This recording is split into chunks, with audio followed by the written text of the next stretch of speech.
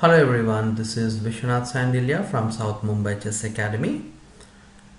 Today in this video, we are going to see a match played by Vasiukov versus uh, which is played in the year 1973.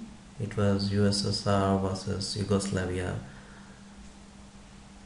match. So in this uh, game, we are going to see a very nice uh, planning uh, especially from the white player who is Velimirovic. He created a very beautiful plan to continue the attack and mostly we can say uh, it's an active piece play and a very strategical ideas to bring all the pieces very quickly to continue the attack.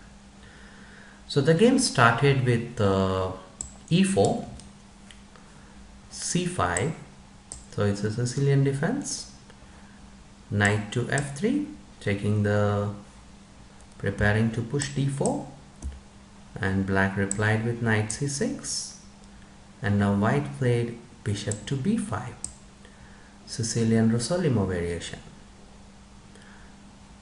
e6 so this is uh, quite uh, very popular at that time because when after e6 uh, black can just play knight e7 and maybe play a6 to get the strong pair bishop. So white quickly took this and black captured with the b pawn. So this is a very normal way to recapture as it strengthens the center by after something like d5 so white continued his development with castling and black played uh, queen to c7 white played with d3 pawn d6 knight to c3 so these are very uh, normal moves in this structure. Knight to f6 so white played queen e2 here and pawn to e5 okay so I would like uh, you to pause the video for some time and uh, find the best way how can white proceed here. How can white make a good plan to activate the white pieces the fastest way you can develop and continue the attack. So right now you see white pieces are not doing that great. So make a plan. Just pause the video for one minute and try to find the best way best move from here from white. Okay I hope you find the move. The move is uh, knight to h4 a very nice move a very nice plan. So first what white is planning to activate this rook or maybe the queen or the knight even the bishop? We can see after moving the pawn to f4 white gets a very active play with all these pieces. So that's a very interesting move. So knight h4 now after f4 I get all the pieces into the game.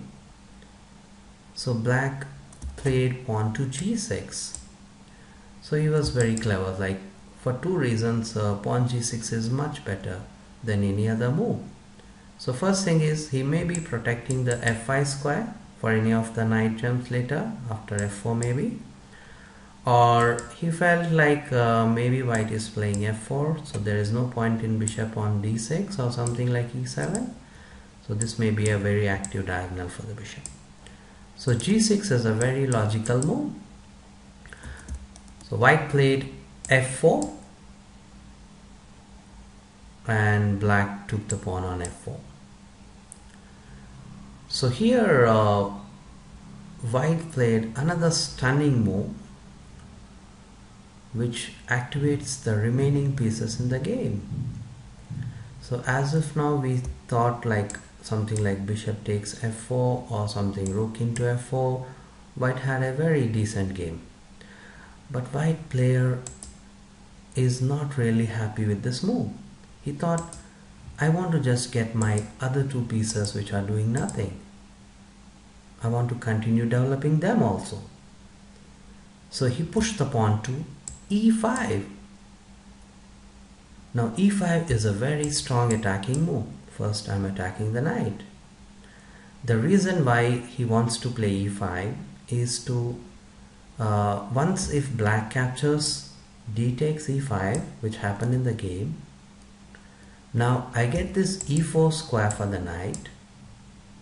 And best thing is I get bishop f4 which pins the pawn and finally get the rook on a1 to e1 so white activated every single piece by moving knight to h4 this is a very good plan. He has created uh, and he has played.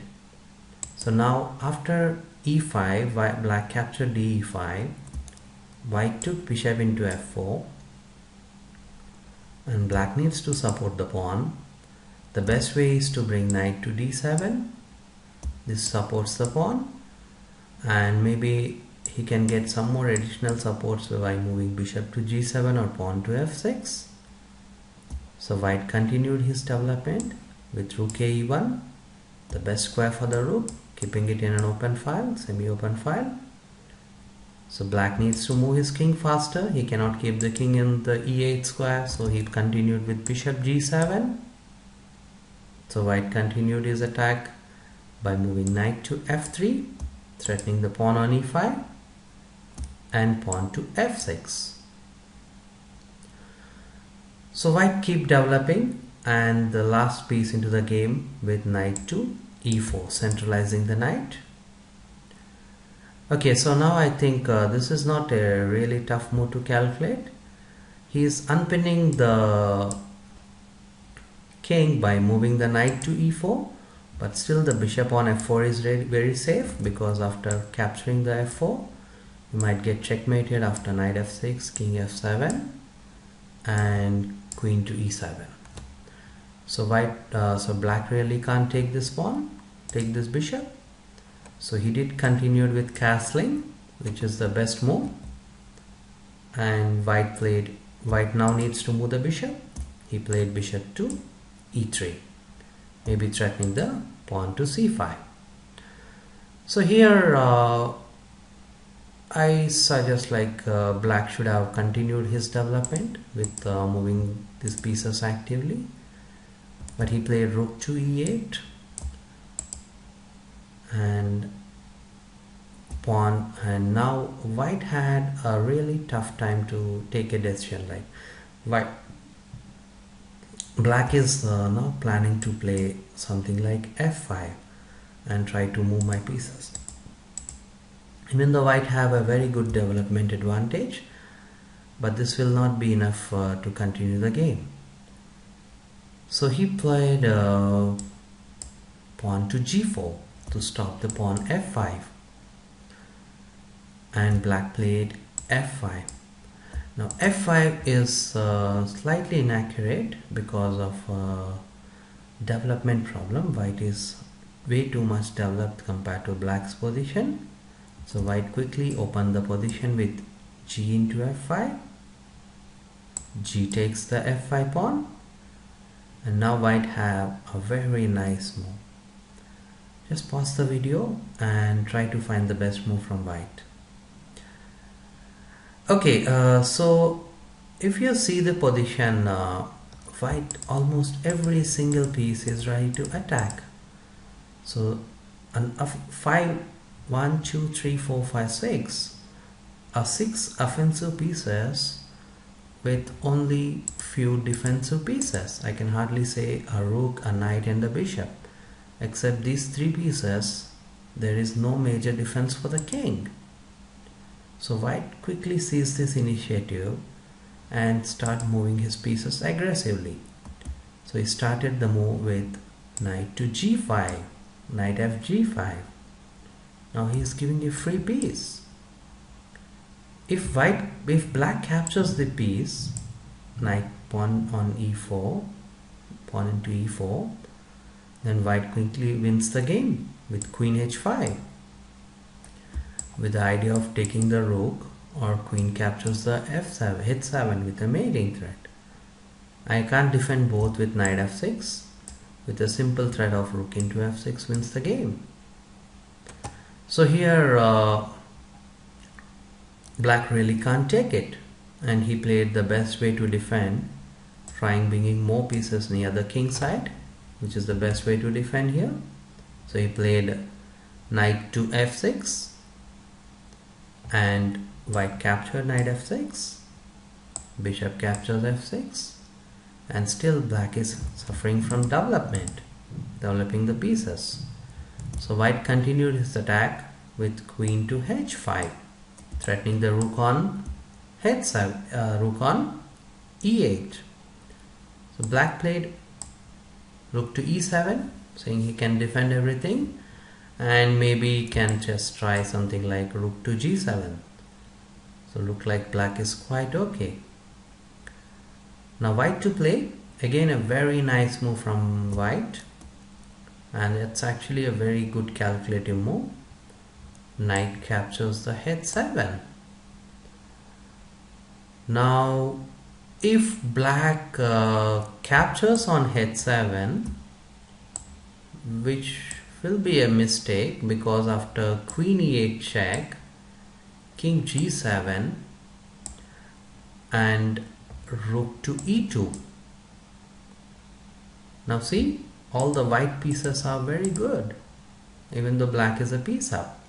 Now threatening rook to g2 once king moves I have a mating threat queen g6 so black now needs to block this and if I say like rook to h4 trying to block with rook g4 still white to play and win. Rook g2 check rook g4 which is the only move and rook captures. Now you see black king is very much exposed and the only defensive piece is the bishop on f6 so I can remove this by giving my bishop to h6 and after king h6 the king is left alone so it can be checkmate in in next few moves maybe. Something like this. So a very nice move a very nice calculation by Bicep uh, thinking knight knight to do h7 so he gave a check to rook g7 which is uh, a very nice move king to h1 and now he is planning to he cannot take the knight because I have the same uh, threat of queen h queen e8 and now I don't need to even wait rook e2 I get right directly rook g1 so he tried to exchange with queen f7 which is the best way. Now you see both the queen and the knight are threatened so I can escape both by capturing knight to f6 with a check.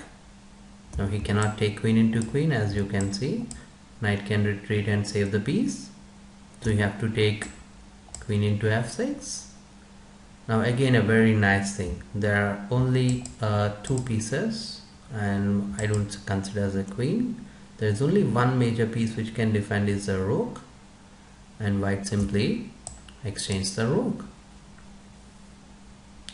That only piece which can defend the king so rook captures rook will directly lose after rook into rook. There is uh, so many variations. I hope you can find by yourself. So he tried his best way by moving the bishop bishop to e6 trying for the final move something like bishop to d5 but white quickly saw this and removed the defense of the king side by taking rook g7 queen g7 now rook g1 will be a big blunder because after bishop d5 you have to block with the rook and there is a checkmate for white. So he stopped this uh, idea by moving pawn to c4 and now here uh, black resigned without making any move because he saw rook g1 is too powerful. Both, both the queen rook and bishop uh, can actually trouble the king so if we try something uh, let's say something like queen h7 the best possible way to exchange the pieces maybe. So rook g1 and king to h8 the best way to keep the king safe and also to protect the queen I can simply win with queen g5 and there is nothing you can do about this. Maybe if I play rook to g8 I can just move queen to f6 check rook g7 and bishop h6 wins everything. So a very nice and interesting game uh, played by Vasiukov hope you like the video. Um,